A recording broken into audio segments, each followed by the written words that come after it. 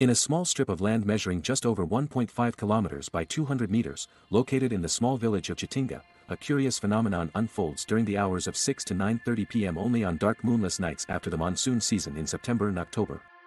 During this time, 44 species of birds suddenly become disoriented and plunge themselves towards the lights of civilization. This peculiar event has persisted for at least the past 100 years.